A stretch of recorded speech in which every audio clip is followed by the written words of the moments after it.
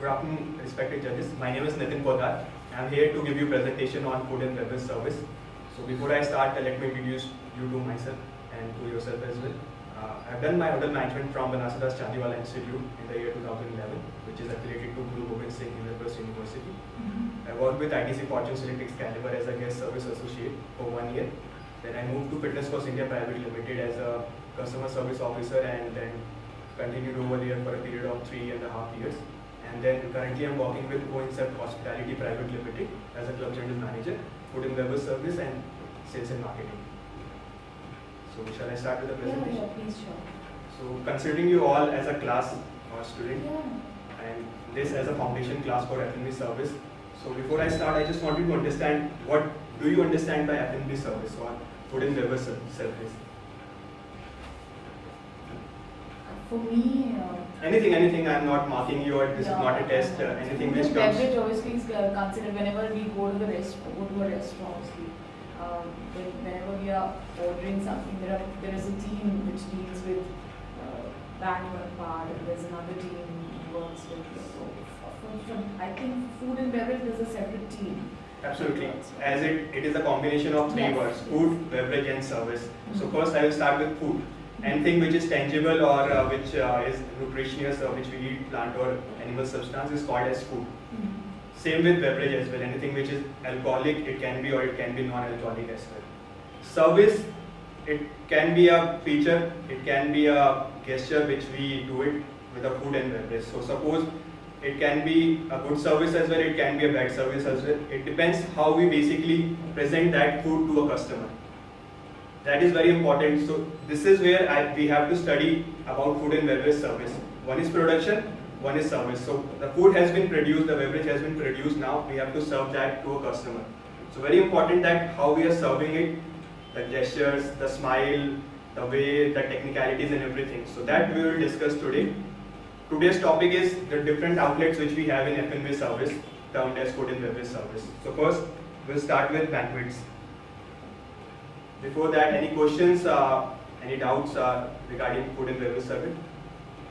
I think you must tell us first, then we'll be clearing up doubts. Sure. So in banquets, before I start with that, uh, what do you understand by different outlets of food and beverage service? Any idea?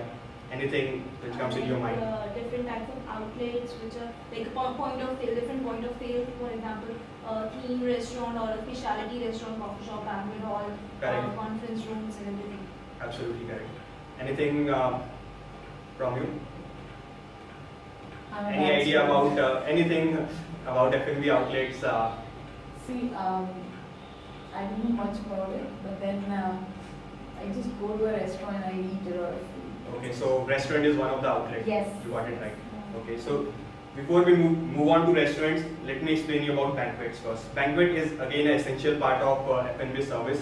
One of the main uh, key earner or uh, I would say banquet words refers to bank which is basically uh, one of the again large quantity earner for hotels as well. So what do you understand by banquets? What is in your mind if anybody says banquets? For me as a layman, banquet is something I go over there, enjoy a party A, or a large area which uh, which can accommodate a large number of people can be used for larger parties like weddings. You know. For Absolutely. food service, for uh, like uh, uh, facilities like food, beverages, and buffet. you know, these- Correct. It can be used for uh, any kind of function. It's a gathering basically. In banquet, it's a pre-booked gathering that we arrange over there, and uh, we book in advance either through telephone or either in person as well. Over there, there is a particular team which take care of that. There are different kinds of banquet setup, menus, and everything available for the same. So that we will discuss later on. Initially, I'll explain you what is exactly banquet is. Banquet is an outlet of a hotel where a gathering takes place. It can be a marriage, it can be a birthday party, it can be a conference, it can be any kind of uh, show launch, it can be uh, basically reception as well. So how we basically do that? Any idea? Uh, it's like a person have to book first for a for the space where he want to conduct a concert or anything like any wedding function or something. So first thing, uh, what would be required if you wanted to book a banquet? Number of pax, Uh, Number of number of persons? pad, what type of menu, what type of meal they require, uh, timing and everything. Right? Absolutely right. The reason I've asked this uh, because the difference between restaurant and banquet is it is in a big quantity. Yes. If it is a gathering of more than 50 people, 100 people, that's where we need to book banquet. And that's why there is a separate outlet called banquet in hotels as well. There are restaurants, people can book that as well, but it can't arrange a big function like marriage uh, or kind of big conference like that. So it is a pre-booked gathered event. The guest has to previously decide on a banquet venue and then uh, with the hotel premises, uh, it decide the menu, prices and everything. Booking is done through telephone. A function prospectus is drawn up by the department and the entire function is organized as per the host request. So this is which host decides that what kind of menu I want, uh, what kind of setup I want, what all options you have, what kind of service, uh, decor and everything has been decided by the host over here. As compared to restaurants, we can't change that setup. So this is the advantage uh, people have in banquets. Similarly, menu choice to be given in advance to the hotel staff or hotel banquet kitchen so that they can prepare accordingly that as well. It's not that uh, you came in a restaurant and you choose from the menu. It is we decide the menu that we will go with this much of starters and everything. We decide on the menu part. Although there are options available from the hotel side, different menus available, but this is the customized menu that a customer demands from a hotel. That's the advantage you have in banquets as compared to restaurants. So, anything in banquets? Any doubts? No, Shall we proceed? Very well.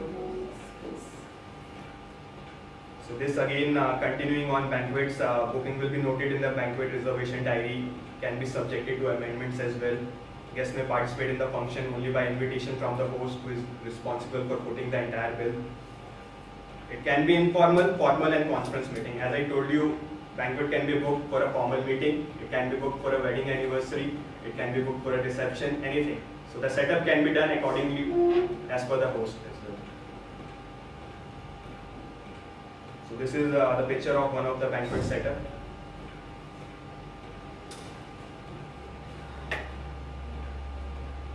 Moving on, next outlet is coffee shop. We all understand uh, by the word coffee.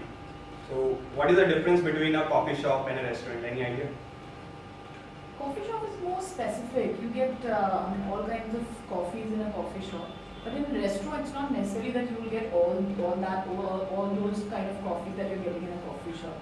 And the stuff is like, it's more of a place where you won't be getting a proper lunch or dinner kind of things. You would be having more snack kind of things. That's what uh, every individual understand about coffee shop.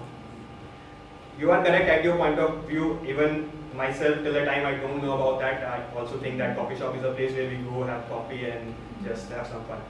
The major difference between a coffee shop and a restaurant is coffee shop is 24 by 7 and it is a multi-cuisine restaurant. You can order any any food, any kind of cuisine over there, what are available over there. And restaurant is not 24 by 7. It is specific to lunch and dinner only. This also have a coffee shop also have an advantage. You can put this as a buffet in the breakfast as well. So the major difference is it's 24 by 7 available all the time and you can just uh, order at any point of time as compared to restaurant where they have fixed timings for a lunch and dinner as per their buffet and as per their a la carte menu. So this is the major difference. So, can we have table d'hôte menu in coffee shop? Generally, the difference between table d'hôte and a la carte, it's not there table d'hôte in coffee shop. A la carte is where we have varieties of options available and we can choose from them. Table d'hôte is a fixed menu. We can't choose between them. So generally you'll find table d'hôte menu in a In more like Specialty restaurants. kind of menu where you have more fixed. uh, absolutely specialty fixed- restaurants or a fixed Yes, uh, right. restaurant. In coffee shop you would not uh, have table d'hôte menu. More color. Right, right, right. Anything uh, related to coffee shop comes into your mind? Any doubts? I hope now you can better uh, explain this coffee Yes. shop. Someone asks you about coffee shop and a restaurant. So this is the detailed uh, elaboration about coffee shop. It's an establishment which primarily serves coffee, other hot beverages, along with various cuisines of food products as well. It shares some of the features of a bar and restaurant as well, but it is built differently from cafeteria and restaurant. Coffee shop focus on providing coffee and tea as well as light snacks, buffet and other versatile menu as well. It works 24 by 7. This is something the uniqueness of coffee shops. So till now we have covered uh, two outlets. Can you tell me what the outlets? Banquets and the coffee shop? Perfect. So we are on the right page. So moving on now, the third outlet is room service. Again, same question. What do you understand by room service? This is again something uh, very common and I'm sure you must have traveled to different hotels and you must have experienced different room service. Uh, room service, uh, is this only a part of uh, F&B service or it can be? it can be part of housekeeping as well. Other words you can put is as in-room dining. Nowadays uh, in hotel industry people use room service as IRD which is in-room dining. So I would be specific only to IRD. So let's move on on this. So what do you understand by I think IRD? in-room dining or the room service that you're talking about, to me, I think it is, uh, the in-room dining would be more expensive than the one which you would be, uh, if it is a fixed menu that is there in your uh, package or something, that would be, uh, that would cost you less. And if you are ordering something here uh, from the a la carte menu, it will be, it will cost you separately and more. No, it's not like that. Okay. There is again uh, when people charge uh, service charge uh, and if you like order something in rooms, but uh, that service charge is also there applicable in restaurants as well because over there someone is serving you that food as well, so that is applicable Well, that has happened, that's what I'm telling you. Again, uh, that might not be if you go to a five-star hotel. Uh, I'm talking about a five-star hotel. okay, uh, they have charged you extra for uh, in-room service Quite a lot of. There is a service charge which is applicable uh, in in-room dining, which is also applicable in restaurants as well. Okay. So the menu price remains same. So what I'm trying to say is, uh, maybe I'm not putting it rightly or whatever it is. The- in every package when you when you go to a five-star hotel or somewhere, there's a package that you take, right? Right. So you have, if you say you take a package where lunch is there. Absolutely. Now, yeah, I got your Yes. point. So And the breakfast is also Absolutely. good. But Breakfast- then, if you're going to the restaurant having the breakfast, that is one thing. And if you're ordering it in your room, absolutely. Then over and above thing. That's what I'm absolutely because breakfast, that breakfast is a buffet breakfast. Mm. Buffet breakfast means you are not choosing from the menu. Yes, that's You what I'm saying. just, That's uh, a fixed menu. That's, absolutely. that's similar for everyone. Absolutely, absolutely. That is included in your room package. Yes. But this is something you are ordering something extra or you are asking for something uh, uh, extra from the hotel side apart from your package. So then they will charge you. But for a normal, even even on that, you ca if if you are if, if you have an option of a buffet, you cannot actually order something from the buffet to your room. Same absolutely buffet you have to go and uh, take it in the restaurant or in a coffee shop only. So that's the catch in the buffet. That's why buffet is always included in the room package. Yes. And that's again the marketing gimmick Yes, that all yes, hotels Yes, yes. So, Room service is again a s- outlet of F&B service, very important outlet. All the outlets are important, but this is very important because here we are serving the food in the room. So we need to make sure that the same service standards, same hygiene and everything has been maintained while serving the food to a customer in the room. He needs comfort because that's the reason he has ordered the food in the room. He's not willing to go outside the room, maybe XYZ reason, he's lazy, he's not well, anything. So it is the duty of F&B staff to make sure that the food has been delivered on time and with basically proper uh, service standards. So room service is a service of items of food and beverages to the guest room by a waiter. Room service is a type of service which is provided by all hotels. You might find there are hotels which don't have banquets, but room service will always be there in any hotel. The guest may place an order over the telephone, which is noted by room service, order taker, and later serve it to the guest room. There is one KOT which has been made at the time of ordering for room service. That KOT has to be presented to the kitchen, IRD kitchen, and then they basically deliver the same food to the waiter. So what do you understand by KOT? Uh, just It's a kitchen order ticket. perfect. It's a kitchen order ticket which we need to raise to make sure that order has been placed over there. Then the kitchen staff works on that and then we got the food. Room service is also known as IRD which is in-room dining. You can note this point, this is important. Room service boy will present the food and beverage to the guest. The guest will sign the room service bill and the first copy for the room service and the second copy is sent to the reception. So while checking out, the reception people will count that amount in your bill and then accordingly you sign out. Room service boy will take the KOT and will proceed to the kitchen for the food which I already discussed and to the bar for beverage if in case there is any beverage order. There is a separate section for beverage and food. Room service will be operating round the clock. Again, important point to note, it is 24 hours. So suppose you need a food at 2 a.m. in the morning or 3 a.m. in the morning. So if you don't want it to go to a coffee shop, you can bring the same food at your room as well. So this is again uh, advantage you have in room service. The service is either done by using a trolley or by using a room service tray. So there are two ways a waiter can basically uh, deliver the food to a guest room. One is their room service tray and one they have basically their trolley. So you can have a look of the pictures of both trolley and tray as well. So if the order is big, he has to deliver in a trolley or it is for pax of three or four or five. If the order is for a single person and it can be arranged in a tray, so the waiter delivered it as well. So there are two ways one can deliver food over there. There is a proper setup of IRD trolley as well that uh, we'll discuss uh, in next part. Today we'll be discussing about the different outlets, so I'll not uh, touch that trolley part. Otherwise, there is a proper setup, how we do set up, what amenities we do need, uh, what other things we need to take care while going to a guest room with a room service trolley and tray.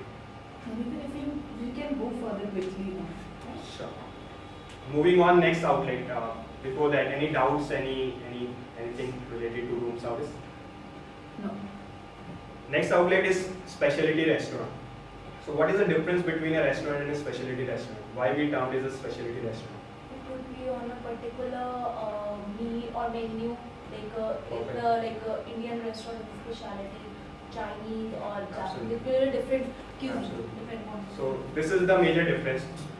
Again, moving on, if you see the difference you will find in a normal restaurant especially that restaurant is the decor, the theme, the service, uh, pictures and everything of a restaurant. Uh, I think you have a question.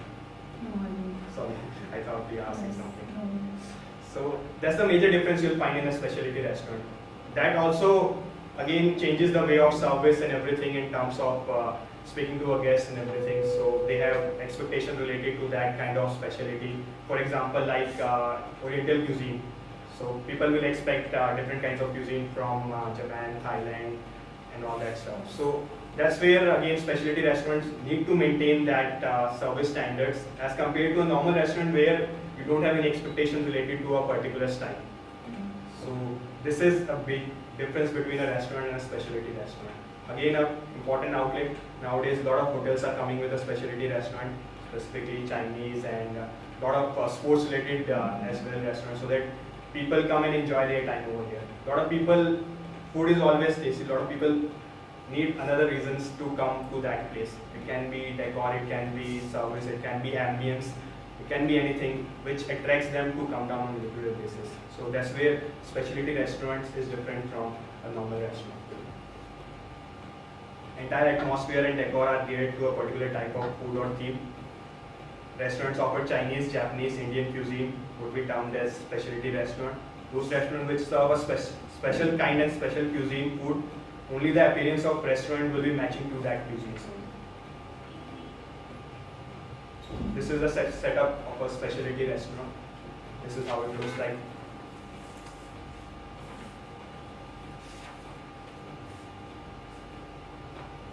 Another setup of a specialty restaurant. So you can see that ambience, that lights everything.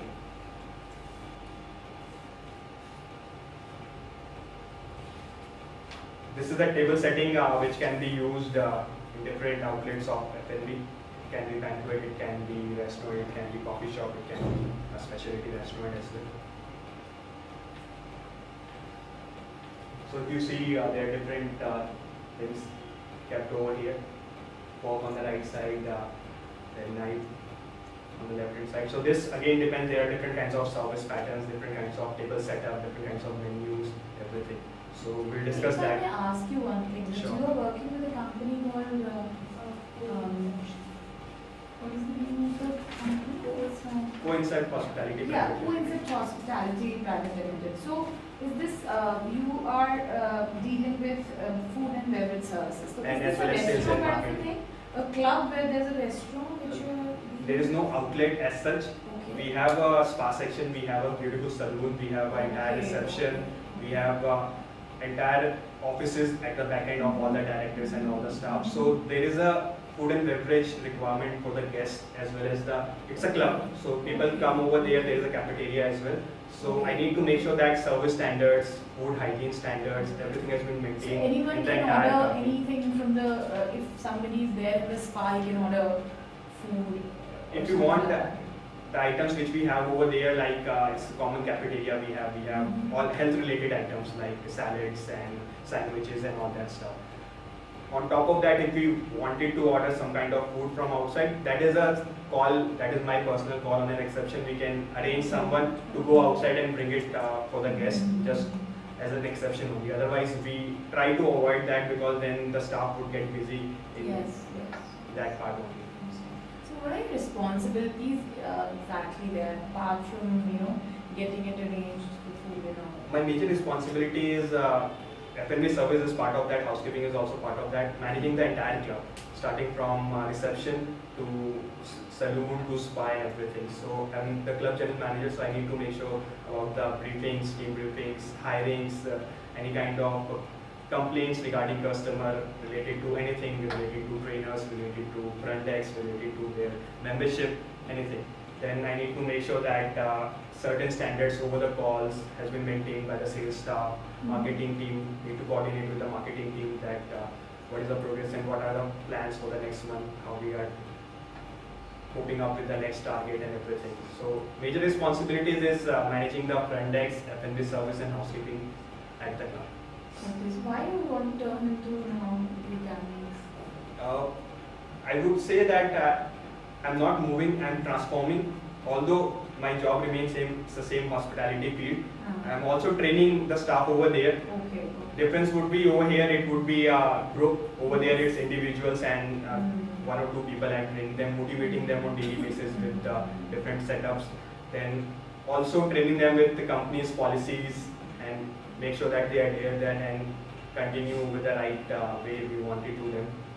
At the same time, I train the sales staff as well how to make a call, how to basically deal a customer in terms of showing the club, showing the saloon, then So how to close a sale. think uh, is the key to if you have to train uh, certain people, like students are there uh, who are basically uh, they are like you know uh, they don't know anything. They, they, they are here to learn, right? Right. So for, for uh, what do you think uh, a person should have to start learning about whatever you're going to teach? First of all, it need to be the any any kind of uh, basically session. It need to be interactive. Then only I can get to know where I am lacking or where they are lacking. Mhm. Interaction at the same time, uh, regular assignments, uh, regular monitoring of different individuals. I can create different groups and find out one on every individual has their own strength. So find out that what strength he have, what weakness he have, so I can compare or I can pair up with that guy so that both can help each other and make sure that uh, they are helping each other and I am helping them as well in growing.